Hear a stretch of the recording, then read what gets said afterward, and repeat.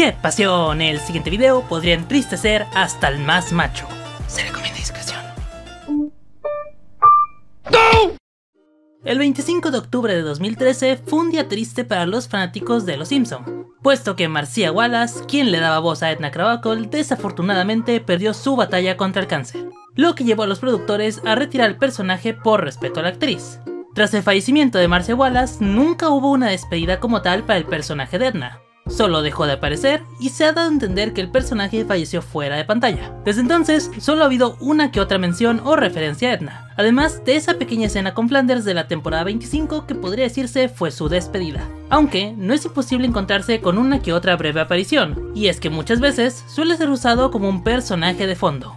Sin embargo, desde el retiro de Edna, los productores y escritores se habían abstenido de darle mucho tiempo en pantalla. A criterio personal, si hay algo que considero que faltó para despedir a este personaje, fue una, aunque sea breve, escena con Bart, ya que estos dos han compartido grandes momentos y considero que algo muy interesante y hasta emotivo pudo haber salido de una despedida de Bart hacia la maestra que fue tanto una enemiga natural como una querida aliada. Y aunque a día de hoy creo que no existe ni existirá ese momento, la actualmente en emisión temporada 32 dio una probadita de lo que es para Bart el haber perdido a su maestra, hablando claro del capítulo de Queen Diary o el diario de una princesa.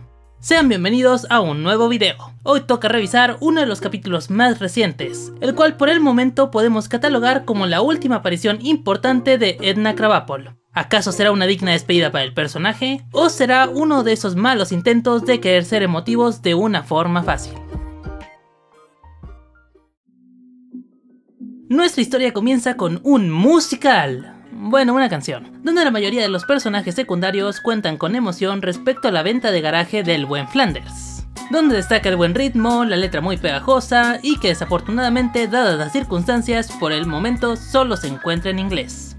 No hay mucho que destacar en estas escenas de la venta de garaje de Flanders, más allá de una peculiar sátira a cómo uno quiere vender basura, pero aún así recibe ofertas. Algo que se volvió un tanto característico de Flanders desde el huracán Neddy de la octava temporada es lo poco que llega a tolerar a los habitantes de Springfield, que al ver cómo usan sus cosas, simplemente los quiere correr de su venta. Bart, de una forma un tanto ñoña, le compra unos libros a Flanders, que para leer, pero en realidad los usa para una, admitámoslo, llamativa acrobacia pero el pateticón de Milhouse solo grabó su cara. Ya saben, ese chiste que todas las series han hecho al menos una vez. Es ahí que Bart se encuentra con un libro muy peculiar, rosa, piedritas y con una letra que le parece muy conocida. Exactamente, es el diario de su estricta pero a la vez querida maestra.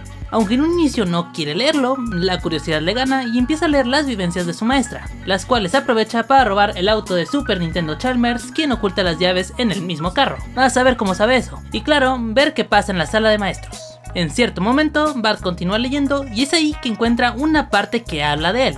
Dice así, tuvo un momento maravilloso con mi amigo de pelo puntiagudo después de la escuela. A veces tengo que ser dura con él para que mejore su comportamiento, pero es listo como un látigo. Cuando crezca, apuesto que no habrá puerta que no sea capaz de abrir.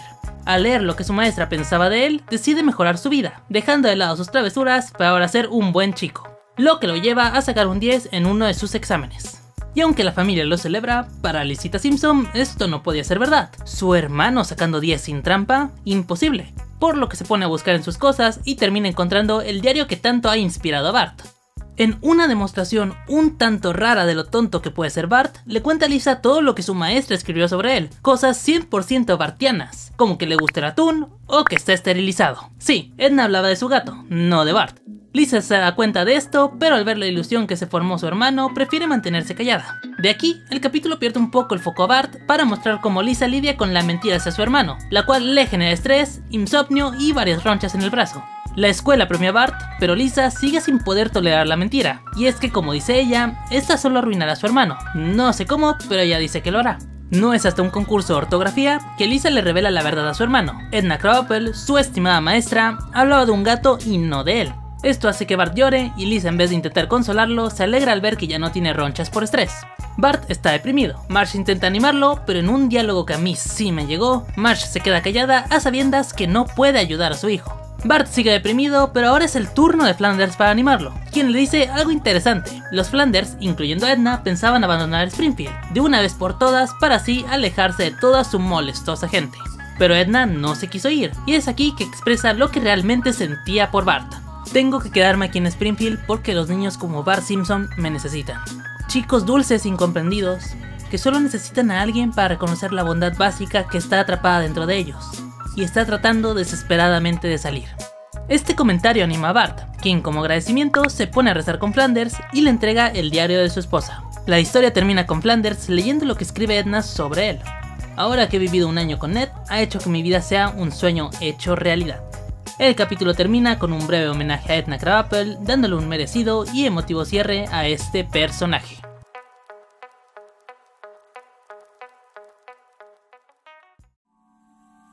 Este capítulo es de esos que creo que pudieron haber sido mucho mejor de lo que finalmente terminaron siendo, de haber aprovechado mejor ciertas oportunidades. Toda la parte de Bart inspirándose por un comentario de su maestra fallecida me parece que fue una trama muy acertada, dado que recuerda a esas historias de la vida real de cuando un estudiante es motivado por un maestro que cree en él. Además, hace recordar esos capítulos muy a su manera clásicos donde Bart y Edna tienen una relación de apoyo emocional, tramas que por la razón que comenté al inicio no se han podido dar de nuevo. El problema de esta ocasión es que no se aprovechó adecuadamente la trama de Bart, y es muy notorio que no se supo cómo alargarla. Es como si todo esto de Bart inspirado por Edna durara apenas 10 o 12 minutos y fuera necesario complementarlo con otra cosa para que el capítulo llegue a los 22 minutos mínimo. Pero en lugar de incluir una trama secundaria, que suele ser lo habitual, se quiso incluir cosas sobre la misma idea del diario de Edna. En este caso se incluyó a Flanders para los últimos minutos y a Lisa para la parte central y del clímax. Y aunque lo de Flanders tenía sentido, toda la parte de Lisa era completamente innecesaria. Y no, no odio a Lisa, pero es de esos capítulos en los que ella no debió participar. Digo, no es obligatorio que todos los miembros de la familia participen. Homero tuvo como dos diálogos en este capítulo y fueron al inicio. Y si solo fuese ese momento en el que duda de que Bart mejoró en la escuela, estaría bien. Pero para la mitad del capítulo se deja Bart de lado para que Lisa tenga su tiempo en pantalla, que al final no aporta más que ese momento en el que Bart se da cuenta de algo que bien pudo haberse dado cuenta él. Pero ya lo saben, el mayor de los Simpsons es estúpido y no puede leer un libro completo. Además, he de decir que resulta un tanto molesta la actitud de Bart, especialmente cuando se la pasa diciéndole a Lisa que ambos son listos y todo ese aire de superioridad que agarra pese a que solo está teniendo suerte. Este capítulo es algo así como el de la herencia de Mona. Tiene momentos casi para llorar, pero los otros aspectos no convencen del todo, aunque si no eres muy exigente puede que no te cause gran impacto. Si hay algo que se debe agradecer de este capítulo es que al menos los últimos minutos se sienten genuinamente emotivos, dando una especie de cierre a la relación entre Edna y Bart, además de otro momento memorable de Flanders recordando a quien fue su segunda esposa. Un detalle que me gustó fue que se utilizó material ya grabado de Marcia Wallace para los diálogos de Edna, en lugar de usar otra actriz, dado que, aunque no han respetado del todo eso de retirar al personaje, por lo menos mantienen ese respeto a que el personaje es de Marcia. Este capítulo no diría que es un cierre perfecto para Edna Krabappel, pero es bastante agradable y pasable para ver. No tiene momentos lentos y salvo la parte de Lisa que puede hacer que te cuestiones las decisiones y el favoritismo muchas veces desmedido hacia este personaje, es bastante disfrutable y tiene uno de esos momentos emotivos y satisfactorios que por alguna razón ya no se quieren hacer. Y al final se siente como un correcto homenaje para el personaje de Edna Krabappel. Y bueno, esa fue la despedida de Edna Krabappel, o al menos lo es por el momento. No descarto que quieran utilizar al personaje nuevamente para un flashback o algo así, pero si esta es la última vez que la vemos como un personaje con diálogo, considero que está bastante bien. Por cierto, recomiendo poner atención dado que hay unos chistes de fondo muy divertidos, pero que solo hace falta parpadear para perdérselo. ¿Has visto este capítulo? ¿Cuál es tu momento favorito de Edna Clavados? Antes de terminar, le mando un saludo especial a Santiago Fuentes, a Estefanía, a Yael Jimena Rendón Balbuena, a Jorge López, a Polomonte 12, a Jesse, a Emiliano, a Ramiro 76 y a Agustina Maraz. Aquí tienen su saludo. De nada.